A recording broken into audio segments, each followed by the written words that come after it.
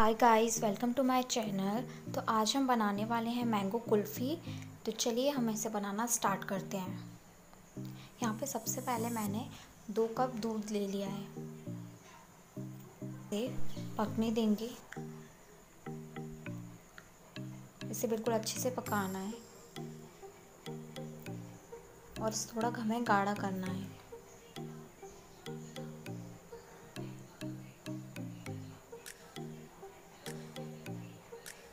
एकदम इसकी मलाई वगैरह भी हम इसी में ले लेंगे। एकदम दूध को गाढ़ा करना है, ताकि हमारा एक ग्लास नहीं हो जाता।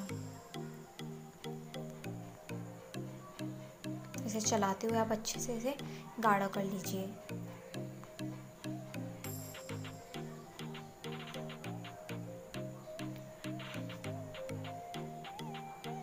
अब हमारा दूध गर्म हो रहा है, तब तक मैंने एक मैंगो ले लिया है।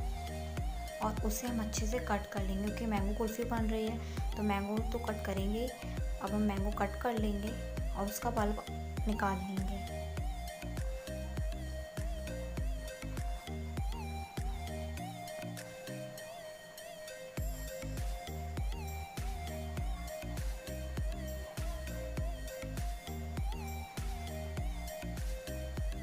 मैंगो का पल्प अच्छे से निकाल लेंगे और उसके बाद हम इसको एक मिक्सी जार में डालेंगे और इसे अच्छे से हम ग्राइंड कर लेंगे।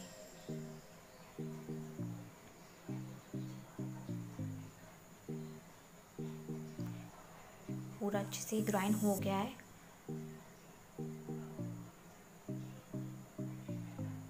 अब हम इसे साइड में रख देंगे और हमें दूध को चेक करेंगे। देखिए, हमारा दूध भी अब गाढ़ा होने लगा है।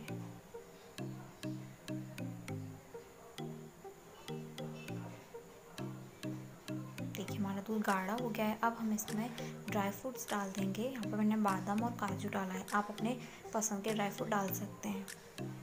और इसको भी अच्छे से मिक्स कर लेंगे। हमारा दूध भी बहुत ज़्यादा गाढ़ा हो गया है। देखिए, हम गैस की फ्लेम को ऑफ़ कर देंगे और उसको ठंडा होने के बाद इसमें हम मैंगो का पल्प ऐड कर देंगे और उसको अच्छे से दूध में मिक्स कर देंगे।